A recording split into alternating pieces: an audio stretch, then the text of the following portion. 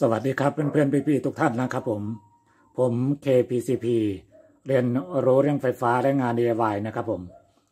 สำหรับในคลิปนี้นะครับ ก็เป็นคลิปที่ 10 นะครับผม ในการเรียนรู้การต่อวงจรไฟฟ้าภายในบ้านของเรานะครับผมสำหรับใน EP 10 นี้นะครับ ผมก็จะพาเพื่อนๆนะครับ มาเรียนรู้การต่อวงจรนะครับผม ตัวสวิตช์นะครับผมสวิตช์ไฟ 2 ตัวนะครับผมแล้วก็ตัว เต้ารับ 2 ตัวนะครับผมในหน้ากากนะครับที่เราจะใช้คือเป็นหน้ากากแบบ 4 ช่องนะครับผมนะครับ เดี๋ยวเรามาดูลักษณะการต่อวงจรกันนะครับ ว่าเป็นในลักษณะไหนนะครับผมสำหรับเมนไฟนะครับที่ผมได้ต่อเข้ามาตัวเมนเบเกอร์นะครับผมก็มีนะครับสองสีนะครับผมก็คือสีน้ำตาลนะครับ สีน้ำตาลผมแทนเส้นลายนะครับผมแทนเส้นลายแล้วก็เส้นสีฟ้าก็คือแทนเส้นนิวตัน นะครับผม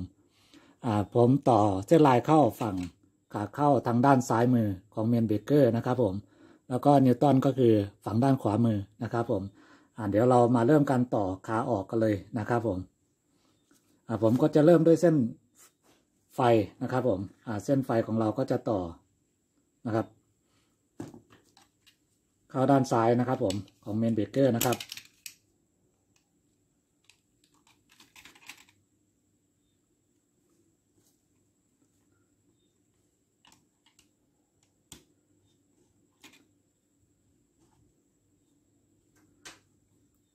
ก็คือเส้นสีน้ำตาลนะครับ ผมเส้นนี้ก็คือเป็นเส้นลายนะครับผมตามด้วยเส้นนิวตันนะครับ ผมเส้นนิวตันก็เข้าฝั่งด้านขวามือนะครับ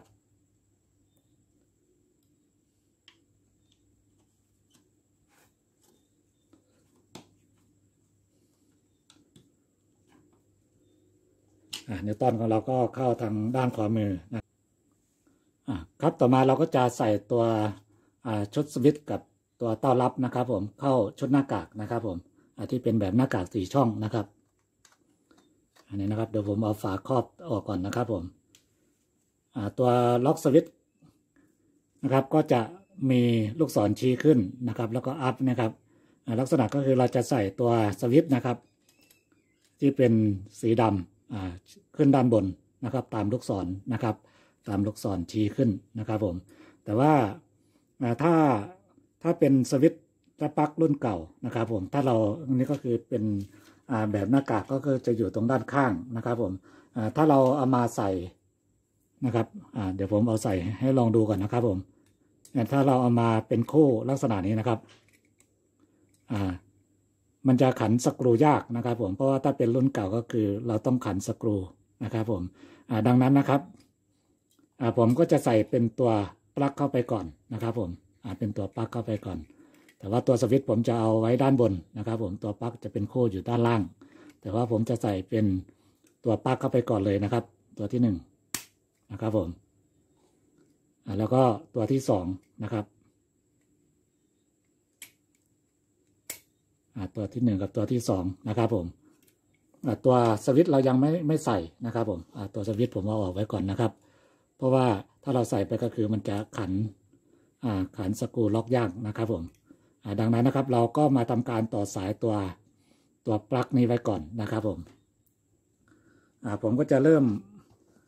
เส้นนะครับ เดี๋ยวผมขอขยับตัวหลอดนะครับผมเส้นไฟของเราที่ออกมาจากเมนเบกเกอร์นะครับผมเราก็ทำการงองอสายนะครับผมงอสายแล้วก็ อันนี้ยาวผมขยับแล้วกันนะครับผมอ่าแล้วก็ทำการงอนะครับผมงอ 90 นะครับอ่างอ 90อ่าแล้วผมก็จะ เอาเข้าตรงด้านบนก่อนนะครับผมนะครับอ่าตรงด้านนี้ก่อนนะครับผมอ่าเข้าตรงด้านนี้นะครับ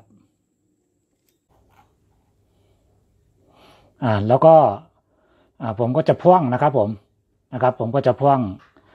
จับปลั๊กตัวที่หนึ่งนะครับ มาตัวที่สองนะครับผมเราก็ต้องอทำสายเพิ่มนะครับก็ทำการปลอกสายก่อนนะครับ ผมก็ประมาณหนึ่งเซนนะครับก็ประมาณนี้นะครับ ผมแล้วก็ทำการงอสายนะครับอ่างอ 90 นะครับผม แล้วเราก็ทำการเช็คระยะนะครับผมอาจากตัวนี้มาตัวนี้นะครับอ่าก็ประมาณนี้นะครับอ่าเราก็ทำการงอ 90 เหมือนกันนะครับผม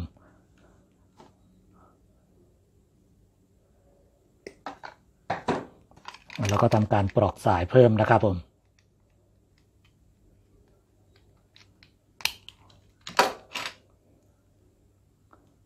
ฝั่งนี้ยาวไปนิดนึงเราก็ ทำการตัดหน่อยนะครับผม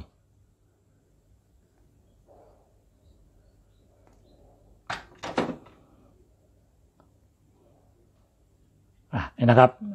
เราก็ทำการสวมเข้าไปเลยนะครับผมเราก็สวมเข้าไปลักษณะนี้เลยนะครับ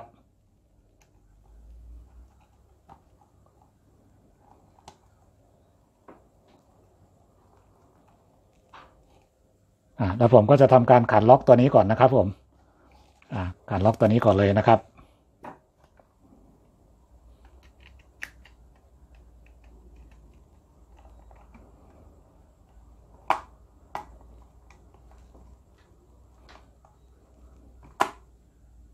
อะนี่นะครับผมตัวด้านขวามือเรายังไม่ล็อกนะครับตัวนี้ ด้านขวามือเราก็จะทำสายเพิ่มนะครับผมทำสายเพิ่มอ่าแล้วก็ทำการเช็คระยะหน่อยนะครับผมาวางไว้ก่อนนะครับ แต่ที่จริงก็ถ้าเรามีความชำนาญแล้วเราก็สามารถทำได้เลยนะครับผม แต่ถ้าเพื่อนๆเพิ่งทำเพิ่งเคยทำเราก็มาทำการเช็คระยะนิดหนึ่งนะครับผมอ่า เมื่อเวลาใส่ไปแล้วก็จะได้เกิดความสวยงามนะครับผม อันนี้เราก็ทำการงอ 90 ไว้นะครับอ่าแล้วเราก็คือเราจะพ่วงเส้นไฟนะครับ จากตัวปลั๊กตัวนี้นะครับ มาใส่สวิตช์นะครับผมอ่าเราก็จะทำในลักษณะนี้ลองดูก่อนนะครับผม แล้วก็เช็คระยะเหมือนกันนะครับแล้วก็ทำการงอนะครับผมองอนิดนึงก่อนนะครับ ยังไม่ถึงกับว่า 90 นะครับผม เราจะได้ทำการปลอกสายง่ายนะครับผมแล้วก็ทำการตัดนะครับ แล้วก็ทำการปลอกสายนะครับผมปลอกสายก่อนแล้วค่อยมางออีกทีหนึ่งนะครับผมนี่นะครับตัวไหนยาวไปแล้วก็ตัดออกนิดนึงนะครับผม อันนี้นะครับ ก็จะเป็นลักษณะนี้นะครับผมผมก็จะใส่เข้าไปตัวนี้ก่อนนะครับ ตัวปลั๊กนี้ก่อนนะครับผม ใส่เข้าไปตัวปลั๊กแล้วก็ทำการขันล็อกก่อนนะครับผมถ้าเป็นรุ่นใหม่มันก็จะใส่ง่ายก็คือเราสามารถสวมเข้าไปได้เลยนะครับผมถ้าเป็นรุ่นเก่าอย่างนี้ก็ในการขันสกรูก็จะยากหน่อยนะครับผม ทำการล็อกไว้นะครับก็แน่นหนาแล้วนะครับผมครับเมื่อได้ตัวนี้แล้วนะครับผมเมื่อได้ตัวนี้แล้ว เราก็จะทำสายตัวนี้เพิ่มอีกหนึ่งตัวนะครับ อีกหนึ่งเส้นนะครับผมเพื่อที่เราจะล็อกตัวสวิตช์นะครับ ตัวนี้นะครับ มาตัวนี้นะครับ ผมก็คือเราทำแบบนี้อีกหนึ่งเส้นนะครับ ผมในระยะเดียวกันเลยนะครับผม ก็ทำการปลอกสายเหมือนเดิมนะครับ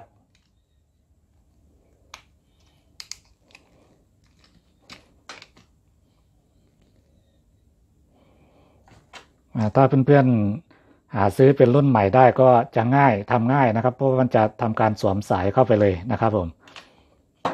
เราก็เช็คระยะอีกนิดนึงนะครับก็ประมาณนี้นะครับผม อันนี้เราสามารถงอ 90 ได้เลยนะครับ เพราะว่ามีความยาวอยู่แล้วนะครับ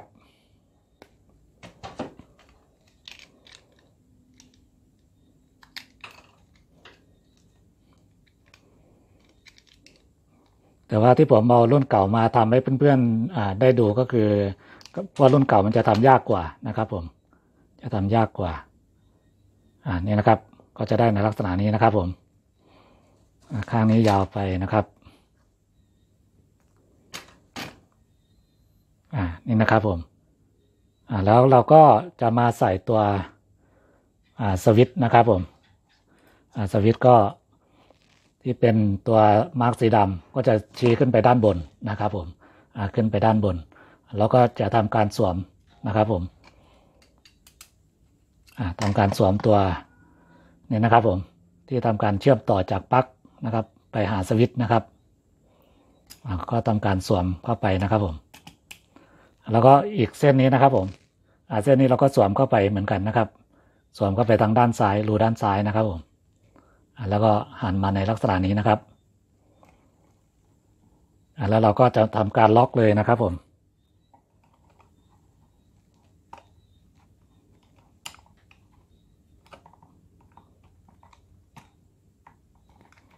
ล็อกให้แน่นหนาเลยนะครับผม อันนี้นะครับ อ่าพอล็อกแล้วนะครับผมอ่าเราก็สวมนะครับอ่าที่เป็นแบบลักษณะเขี้ยวล็อกนะครับ ผมลงไปทางด้านนี้ก่อนนะครับอ่าสวมเข้าไปก่อนนะครับ อันนี้นะครับผมอ่าแล้วก็กดด้านบนนะครับ ผม แล้วก็กดด้านบนเข้าไปเลย อ่านี่นะครับอ่าก็จะเป็นลักษณะนี้นะครับผมนะครับอ่าแล้วก็เราก็มา ต่อสวิตช์นะครับ ผมอีกหนึ่งตัวนะครับอ่าเข้าเอาสายไฟเข้าไปเลยนะครับผมนะครับ ฝั่งด้านนี้นะครับ ผมเพราะว่าเราทาบจากรูด้านนี้นะครับถึงกันนะครับอ่าเราก็เหมือนเดิมนะครับ ผม เราก็ทำการขัดล็อกก่อนเลยนะครับ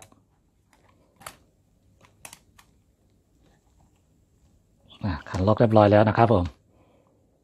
อ่าแล้วก็ ทำการสวมเข้าไปก่อนนะครับ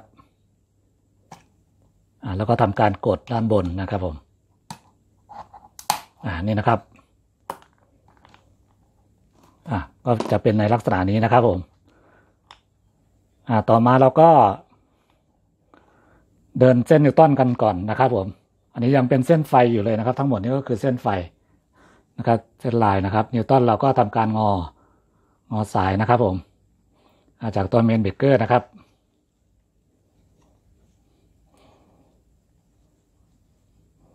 อ่าแล้วก็มาเข้าตัวปลั๊กนะครับผมอ่าก็ทำการงอ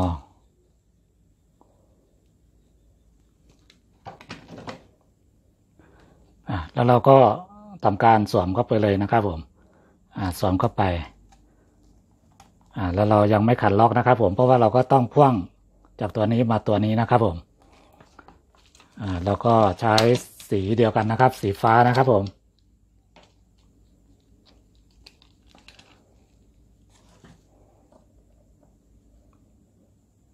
ทำการงอแล้วก็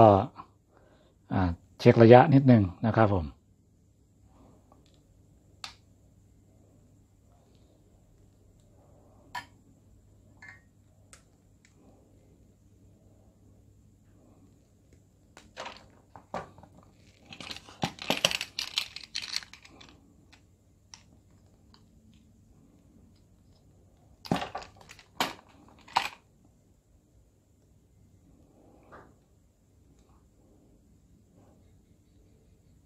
นี่นะครับแล้วเราก็ทำการสวมเข้าไปเลยนะครับผมสวมเข้าไปเลยนะครับ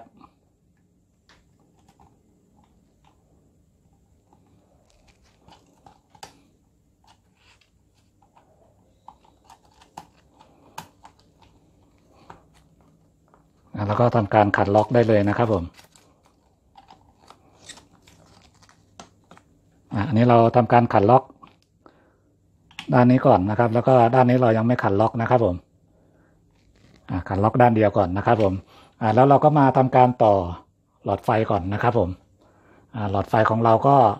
สองสวิตช์ก็สองหลอดนะครับสองสวิตช์ก็สองหลอดอผมเอาขึ้นมาทางด้านนี้เลยแล้วกันนะครับผม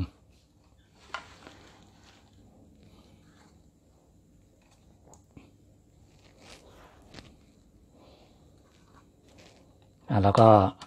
อ่าทำการงอสายนะครับผม อันนี้ผมก็แยกสายให้เพื่อนๆดูง่ายนะครับผมที่จริงก็เส้นไหนก็ได้นะครับ ที่เราจะมาใส่ตัวสวิตช์นะครับผม อันนี้ผมก็เอาเส้นสีน้ำตาลแล้วกันนะครับ มาใส่สวิตช์ตัวแรกนะครับผมสวิตช์ตัวแรกก็สวมเข้าไปหนึ่งด้านนะครับ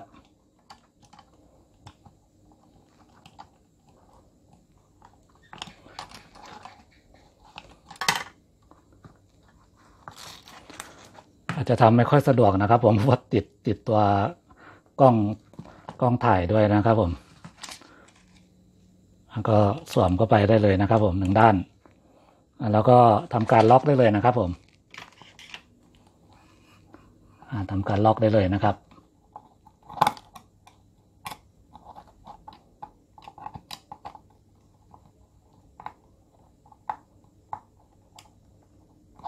นะครับผม อ่าหลอดที่หนึ่งนะครับ อ่าต่อมาก็หลอดที่สองนะครับผมอ่าหลอดที่สอง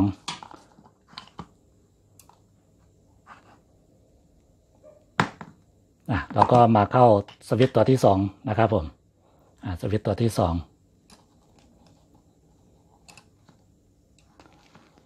ทำการคลายสกรูนะครับผม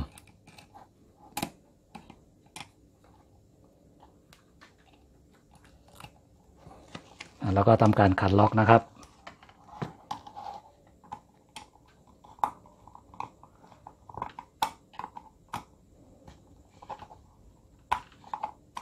นี่ให้ตึงมือเลยนะครับผมอ่านี่นะครับหลอดก็จะล้มหน่อยนะครับ ผมเดี๋ยวค่อยจัดระเบียบอีกทีหนึ่งนะครับผมต่อมาก็ที่เป็นเส้นจากหลอดนะครับ ก็จะเป็นเส้นนิวตันนะครับผม ก็จะเป็นเส้นนิวตันอ่าสำหรับเส้นนิวตันนะครับ จากหลอดชุดนี้นะครับผมอ่าเราก็จะมารวมกันก่อนนะครับ จากหลอดที่หนึ่งนะครับ แล้วก็หลอดที่สองก็เอามาขันรวมกันก่อนเลยนะครับ ผมนะครับ เอามาพันกันก่อนนะครับอ่าพันพันรวมกันเลยนะครับผม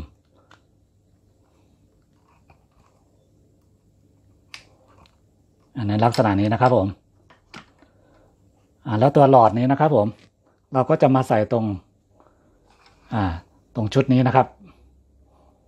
อ่าตรงสายนิวตันนะครับ ที่เราพ่วงรูมาอ่าพ่วงสายมานะครับผมพ่วงสายมาแล้วก็จะเหลืออยู่อ่ารูหนึ่งนะครับผมอ่าเราก็เอามาใส่ตรงนี้ได้เลยนะครับอ่าตรงคู่ของหลอดนี้นะครับผม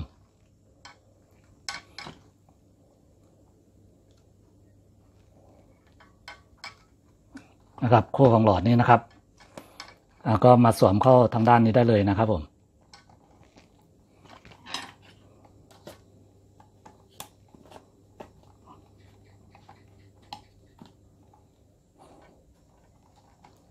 สวมเข้าไปแล้วก็ทำการขันล็อกได้เลยนะครับผม